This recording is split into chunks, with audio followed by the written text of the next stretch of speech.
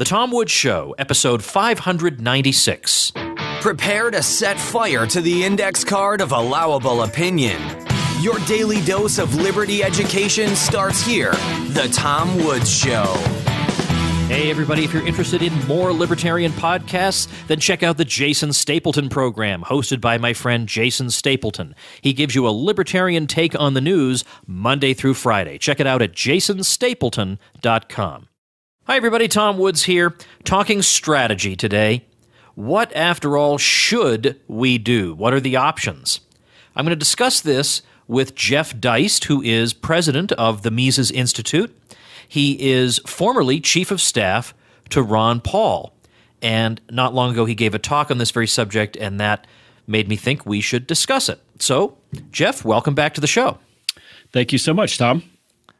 I watch your talks when they're at Mises events that I'm not, where I'm not in attendance. I always make sure I want to know what was Deist talking about at the event, and I'm I always I always love what I hear because you're you you take a lot of thoughts and you put them out and you I mean it's not like it's not like the way I do a talk. Uh, your your approach is different from mine. I don't want to go into differences in style, but I like that. I don't like just listening to somebody who's exactly like me. You, you have thoughts that I've never articulated, but that I have in my head, and I just nod my head through your whole talk. What I like to uh, you have. Um, you did a, fantastic, interesting talk on the socialist left and the alt right that I loved. I want to talk today about a theme you raised in an earlier talk on what should we do? Because we get hit hard a lot by people who say, okay, you wise guys, you've diagnosed the problem perfectly well, but you haven't told us what to do. And I get that. I understand that frustration. Uh, on the other hand, you know, people have specializations, and mine is I do I am able to explain problems to people, and that is important because only if people see there's a problem will they even bother looking for a solution. But I get people's frustration. Uh, we've pinpointed a number of possible approaches before we started talking here, and I want to run down them with you and get a sense of which one or which ones you think have the most promise. So let's start with the most obvious approach that we might take, and that would be a political approach. Let's change the people in political office and uh, see where we can go from there. What are the pluses and minuses of that? Well, I think at the national or federal level, that's mostly a minus. If we look at the 20th century politically, it was a purely progressive century. So, really, when let's say progressives or left libertarians complain about this threat from the right, they, they're really being nonsensical, at least in the political range really from World War One, we might say the Wilson era, the era of the Fed and the income tax. It, has been a thoroughly progressive political landscape in America. So, at a federal or national level, I don't think there's a lot that libertarians can do to push back or work within the system. Uh, uh they can certainly try. They can spend time and money and energy to do so. But let me give you one example, more from the, the right rather than the libertarian perspective, which is abortion. I would venture if you took every dollar and every hour of human energy that has been expended on the GOP and GOP candidates in supposedly fighting the scourge of abortion since the Roe v. Wade decision in the 70s, if you took all that time and energy and money and just put it into uh, dormitories that tried to help girls in trouble, um, you would have had 10 times more uh, effect on the abortion situation in this country than you've had politically. So, um, you know, I'm not optimistic about the political approach at the federal level. I think there's a lot of interesting things you can do at the state and local level, and that's something I'm going to talk about at an upcoming uh, Libertarian Party convention in Texas because I really think that the Libertarian Party has missed its calling as a as a local party and as an issue party instead of a movement party. But uh, yeah, politics. You know, we could talk all day about that, but it, it it's not what I would recommend.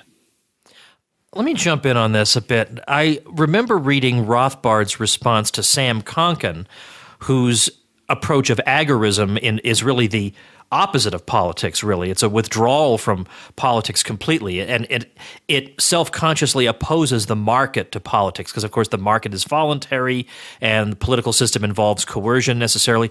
And Rothbard you know who was not you know by any means uh, urging everybody to spend all his time on politics nevertheless pointed out that it's not so easy as that. It's not so simple as to say, well, we we should just try to shun it the best we can. He said because there are major advances that we've seen that came about through politics. So, uh, for instance, the uh, the repeal of the corn laws in England, for instance, uh, that didn't come about because of agorism and people just weren't paying the taxes. That came about because they were repealed by Parliament. Or slavery was not abolished because the slaves rose up in an agorist style rebellion it was abolished because government got rid of it. Or the Second Bank of the United States didn't fail because people just voluntarily agreed not to use the currency it produced. It was because Andrew Jackson didn't renew its charter. So, in other words, these are big, big things, and we can't lose sight of that. And so, I, I, I guess, even though I also see the futility of politics, uh, at the same time, if we're not involved at all, how could things not get worse? Well, but all the things you mentioned that occurred politically, the politics followed. You know, people's hearts and minds changed first, and then the politics followed. So, what changed those hearts and minds was not necessarily political; it was social, cultural, economic. Um, so, I would I would repeat the often used phrase that politics is a lagging indicator, and that culture drives things first and foremost. But there's also been some structural changes, I think, in the 20th century that that go against Murray's argument. Um, the Supreme Court has become something it was never intended to become. Uh, the political parties, the two political parties that that dominate America, have buttoned things down precinct by precinct in a way that makes it much much harder for independent or third party candidates uh, to prevail. Uh, you know, other changes have occurred in, in FedGov itself, in the federal agencies, where administrative agencies are acting so far uh, outside of, of any congressional mandate or congressional intent that really the only solution to that is is a nebulous one, which is sue those agencies in federal court. Well, if you have ten years and a million dollars, like Mark Cuban, maybe you can do that. Um, so I think we're operating in a very different environment than even that when Murray might have been speaking the '70s or '80s or even the '90s. I think. Um, things have changed radically and fundamentally. And I also think that the threat of of imprisonment, the, th- the threat of fines, the, the ways in which the federal government can come along and ruin your life are broader and, and more far ranging and deeper than they've ever been. So, you know, I'm not sure that that any sort of real political process could come along today and say abolish the income tax or uh, you know do away with even something like FATCA, right? Uh, the, the ways to attack these things politically have been restricted from my perspective. We have a mutual friend, Connor Boyack, who has produced a wonderful book series for children, the Tuttle Twins series, and he's just got his hand in a whole lot of things. And one of the things he does is he heads up a state level think tank, uh, the Libertas Institute in Utah, and he's had a lot of success at the state level, even, even though he is by no means the big free market Utah think tank. I don't even know what that is, but he has a, a small budget but he's extremely effective with it, and he can point to a lot of bills that have incrementally made some good changes in, in Utah. So there there is I still believe there is scope for that, and so that for people who just feel drawn to politics, I would say there are some practical steps you can take at the state and local level that might do some good if this is where you feel like your calling is. But you shouldn't feel bad about yourself or guilty if your calling is somewhere else. And and the somewhere else that many people's calling seems to be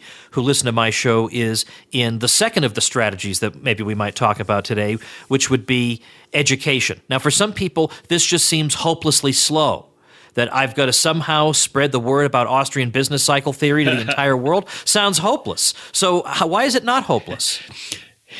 well, part of the strategy on education, or what we might call winning hearts and minds, is also to be there to be laying down markers, historical markers for people in the future.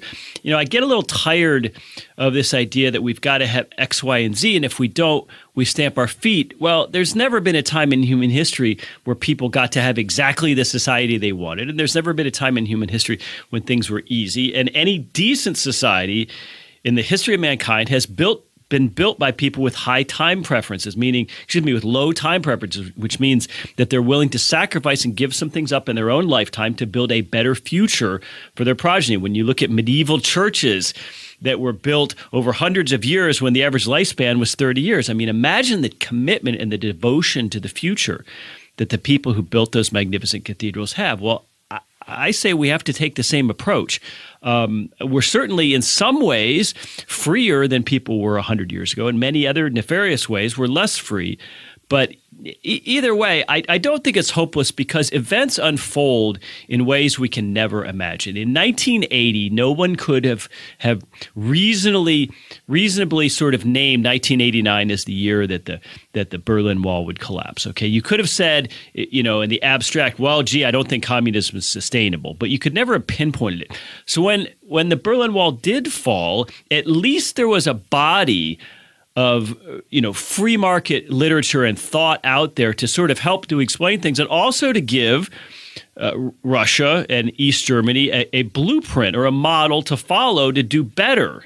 Uh, that, now they didn't do it necessarily. Uh, it's sort of cronyism, especially in Russia. But but nonetheless, I think we sometimes downplay how important it is to be laying down historical markers and be laying down the truth. I mean, Mises, Ludwig von Mises, um, did did not really live to see all of his ideas vindicated, or even to see uh, his his works vindicated in academia. But today, fast forward, and Mises is seen even by his most grudging critics um, in, the mainstream or on the left, is seen as a serious uh, scholar and, and someone who has to be reckoned with. So. Um, it, there's a it's a bit childish, I think, to demand or to insist um, that you're going to see everything you want to see in your lifetime. That doesn't mean that we should be willing to accept impediments that we could otherwise be blasting through. But uh, we also have to take a long term picture, and and you know we're not children. Um, we have to consider the fates of our children and our grandchildren at least as important as we consider our own fates. All right, I'm going to make this a little more controversial here and bring up Donald Trump. Here we've engaged in as much educational activity as we can possibly do. With we've exerted ourselves like crazy, and yet the guy who has the most success. Now, it's not to say Trump doesn't have certain merits. I think he has said some important things on foreign policy that his more his more crazed opponents for some reason won't concede. They should concede that. I don't care who says it. I don't care if the devil himself says it. He said some very important things about foreign policy, and he said them to cheering crowds. That's very important. But he is, to my eye anyway, far and away the least intellectual person that I can think of in public life in a long time who is is seeking the presidential office. Now that's not to say that we've had a lot of geniuses. I mean these yeah. are mostly very very unimpressive people, but it's almost like he revels in it. He's he's got his instincts, he's got his slogans, he's got his simple solutions and everybody rallies to that. So maybe education is just a waste of time because nobody cares.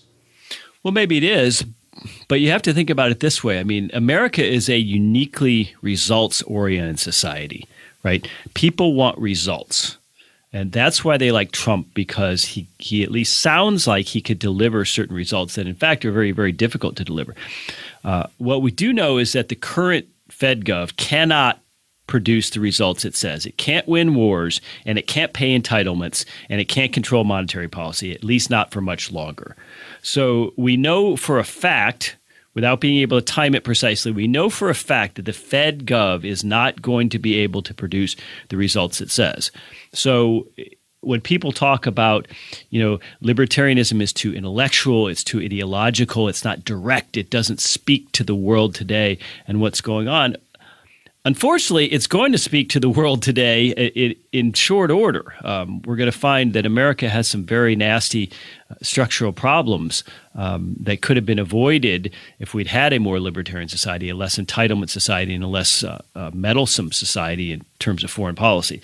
So we are going to have results. They're not going to be happy results, uh, but we're going to have results. And the question becomes are we then standing there with an alternative?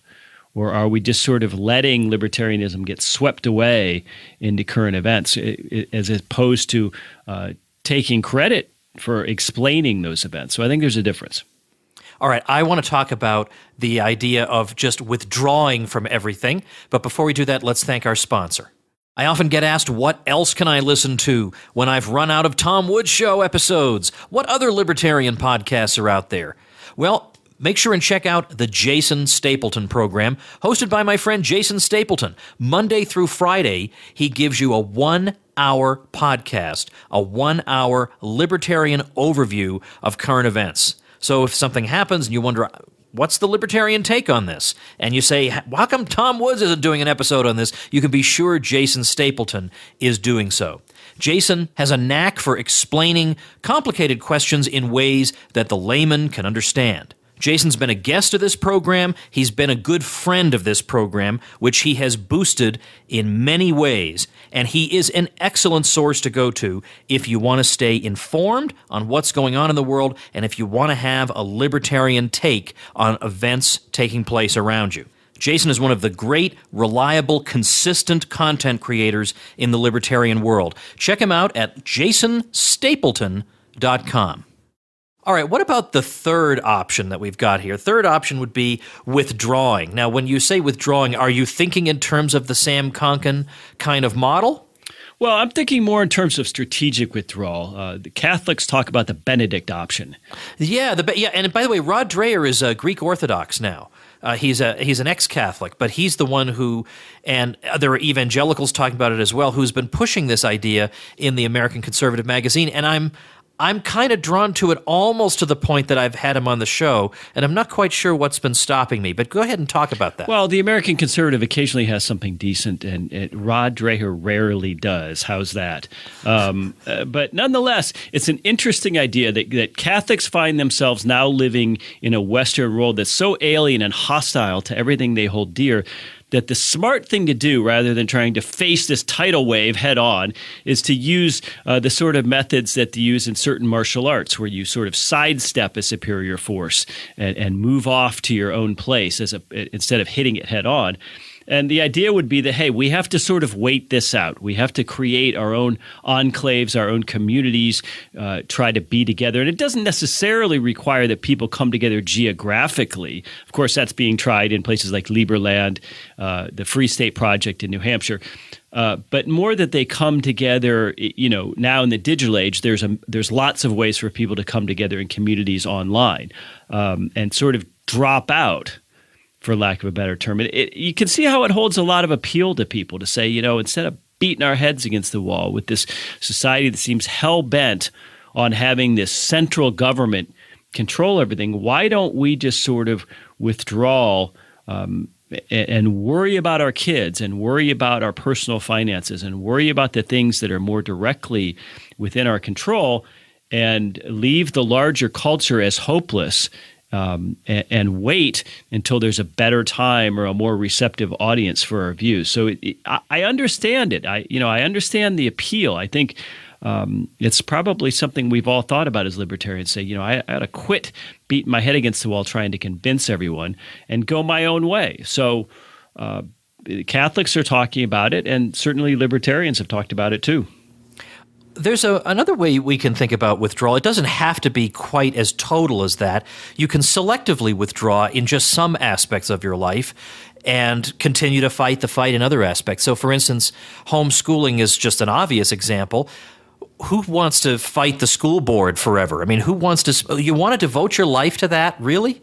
How about just teaching your children the way you want to teach them if they're not going to get that in whatever school it is that you've been sending them to.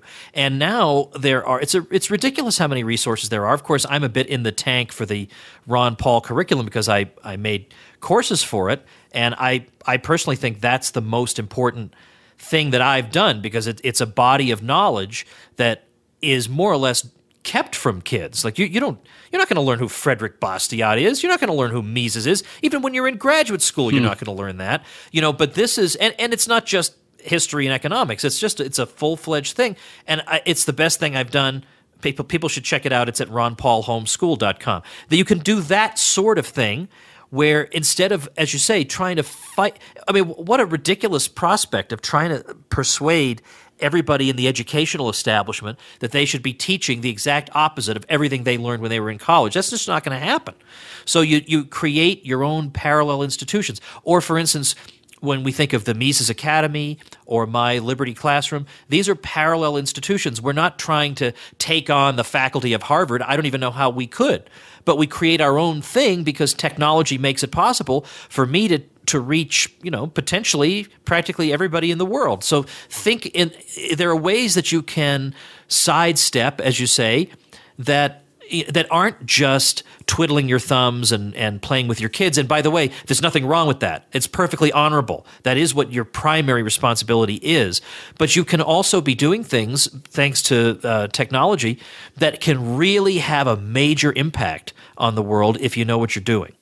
Yeah, absolutely. You can withdraw from media. There's so many media sources now that you could tailor yeah. your own streams to give you what you view as as valid or truthful, and and ignore the uh, you know your daily paper or the CNNs or the NBCs. There's there's a million uh, subtle ways for libertarians to withdraw. Withdraw from cable TV. Um, as you said, withdraw from public schools. Uh, w- you know, you can withdraw from pop culture in many ways, which wouldn't hurt anyone. Um, you can withdraw from the inanity uh, of you know social media and this brief soundbite culture. You, you know, and read. You, you know, no one is stopping you yet, anyway, from reading the entire Western literary canon word for word. You know, you can go out there and read a thousand pages of Beowulf. You don't have to read People magazine. You don't have to watch E or uh, you know uh, or, or Beyonce at the Super Bowl. These are still options, these are still choices, and we tend to think that they're forced upon us when in fact they are not. Let's talk about resistance. Now, what what do you mean by resistance? I can think of a number of different ones, and in in ascending order of plausibility and wisdom. Well, by resistance, I basically mean what the left has claimed for itself as noble, which is civil disobedience. Um, the left tends to really hate right wingers who engage in civil disobedience, like blocking uh, Planned Parenthood centers and that sort of thing. Civil disobedience is only noble when it's done by, uh, you know, some guy uh, in front of a, a, a, university administrator or something like that. But right. no, civil disobedience, I, I would say that probably the, the most infamous form from the libertarian perspective is tax protests. These have been around almost as long as America's been around. Um, and there are lots of people who have done things that got themselves into very hot water. Um, through tax resistance, like unfortunately Irwin Schiff, um, Peter Schiff's father, who's that's a very long story. He was actually jailed uh, in violation of the First Amendment, certainly in my from my perspective. But um, you know, this is a path. This is this is a path that has historical precedent. You could refuse to pay taxes. You could refuse to. Um, have a, a, gun permit or license. You could buy firearms on the black market. You could refuse to follow drug laws and purchase and consume the drugs you want, um, either locally or, or online. Um, you could refuse to have a driver's license. Um, you could refuse to to put a, a, license plate on your car. I mean, there's a million sort of small examples, and a lot of these have been tried uh, from one from one extent to another by by people. So it's uh, it, it's something that holds appeal emotionally, I think, to some people because to say, you know, it's such an evil and sick federal government that I withdraw my consent, and I think that resonates with people. Um, but you know, is it really is it really the way to go if it lands you in jail with far less freedom than you've got now? I think most of us would say no, but I understand it, and it's certainly something that, in many ways, uh, has been tried successfully. Like, for instance, take Uber. When Uber first started, in most municipalities, there were actually laws that more or less expressly forbid it, or it was at best a gray zone. And Uber just sort of came in and started operating anyway. And some investors put some money into it, uh, which was a huge leap of faith. And then it became obvious so quickly how much better Uber was than taxis. Um, and those those municipalities are going to be forced to wrestle with are they really going to enforce laws that run so contrary to popular opinion so uber just kind of went in and did something not necessarily illegal but certainly a gray area and they just did it and it worked and now they've won the, the battle for for popular opinion so that might be a, a, a little bit happier example of resistance than uh, perhaps Irwin Schiff. I, I was telling you before that on tomorrow's episode of the show, I have a guy named Dale Brown coming on. He created something called the Detroit Threat Management Center when he saw that the traditional police were just doing a terrible job. And, and not even just from the point of view of police brutality, they're just totally ineffective. They were not able to. It, it, the situation was so bad; it was it's hard to believe. So he said, "I'm going to create a voluntarily funded alternative, and it's going to be one that aims to diffuse situations without violence and." He has had tremendous success in all the areas of Detroit where he's present. Crime is very low, and the police more or less look the other way. I mean, he is not doing anything illegal, uh, but the police are happy enough because they get credit when the crime figures go down. They get the credit, even though, of course, he's the guy doing it. And I bring this up because that's a, an example of when people say, What should I do? Okay, I see your strategies, but where do I fit in to this whole thing? Well, here's an example of a guy who I don't even know if he's a libertarian but he asked himself, where do I fit into the whole world? Where, where, what's the point of my life? And he thought about where his strength was. And then he thought, how can I put this to the service of my fellow man? And boom, you have this amazing example of how the poor are taken care of and are much safer, much safer. It's not even a contest than they are under the traditional Detroit Police Department. He did that. He just did that. And it's a great example. And so it, it does come down to if you're asking yourself, as I think about strategy, I have to ask, what should I as an individual do? Well, really, that's where the soul searching comes in. No one can do that for you. But there are such wonderful examples of people. I mean, think of Lew Rockwell and the Mises Institute. What you do doesn't have to be as big as that, but Michael Boldin with the 10th Amendment Center has got nullification being talked about uh, all over the country, and he operates that out of his apartment in Los Angeles. Uh, so don't feel like, well, there's nothing I can do and it's hopeless and forget it. You, you got to think smart, and, and maybe you'll come up with something. Absolutely. And, and again, America cares about results. So even if you don't want to appeal to people ideologically or morally, for that matter, we know one thing for sure libertarianism, which is to say private property and markets, always produces the best results. Maybe not perfect, but the best possible results. So you don't have to go at things from the perspective of someone who's, you know, read Ayn Rand or Ed, read Mises or Rothbard. You can simply go at things from people's own self interest in terms of changing hearts and minds or in terms of uh, entrepreneurship or whatever it might be because libertarianism produces the best results. This is this is absolutely unquestionable. I mean we see it time and time again is that government can't calculate it can't know what things should cost it can't know how to allocate resources. So in any scenario any human ill we know that removing the state from the equation and letting private actors come in and do what they want to do is always going to make it better. So you don't have to convince people necessarily to win. You just have to show them something better. All right. And with that, we will finish up today. Of course, if people don't yet know about the Mises Institute, then I don't know how long they've been listening to the show, but I welcome them as new listeners. And I hope you will check out the Mises Institute at Mises.org. That's M I S E S.org. If you do, just be warned, there's a chance you may never uh, leave your house again because you'll spend all your time downloading material and consuming it. It is a, it's an amazing thing. You'll, you'll go through a, a three day binge without sleep, you know, and, and emerging, understanding the world better. Uh, Jeff, we have to talk more often. I, I really appreciate this. Thanks so much. Thank you, Tom. Great to talk to you.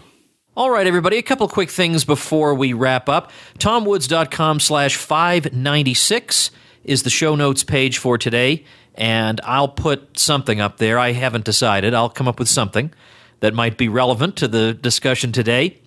I want to, let's see, what do I want to do? I want to tell you that tomorrow's episode is just going to blow your mind. I made brief reference to it as we were talking, and as it was going on, I was just thinking, I can't wait for people to hear this. So, episode 597 is just going to knock your socks off on basically how private security can solve problems that traditional police departments don't seem to be able to solve. So, that's very interesting. Remember also my free ebook, Bernie Sanders is Wrong. Now, whatever happens with Bernie Sanders, the arguments are still going to be important because he's making a lot of traditional leftist arguments, and they are answered in Bernie Sanders is Wrong. You can get that book by texting the word Bernie to 33444. I also have a website, bernieiswrong.com. But uh, but texting three three four four four, texting the, uh, the the name Bernie to three three four four four is probably the cooler way to get your your copy of this free ebook. And finally, economist Bob Murphy and I are planning the event of the year for Austrian economists, for libertarians, and it's called the Contra Cruise. We're doing a cruise aboard Royal Caribbean's Liberty of the Seas, October 9th through the 16th. You got to register through us, though, over at ContraCruise.com. We're going to have a blast. It's going to be fun and games and singing and karaoke and delicious food and excursions and receptions and just nonstop hilarity. Now, you know it's going to be great, so go check it out at ContraCruise.com and make sure you've subscribed to this show so you don't miss tomorrow's episode. I'm telling you, you're going to say, Woods, you were 100% right about that episode. Thanks for listening today, everybody. Become a smarter libertarian in just 30 minutes a day. Visit TomWoods.com to subscribe to the show for free, and we'll see you next time.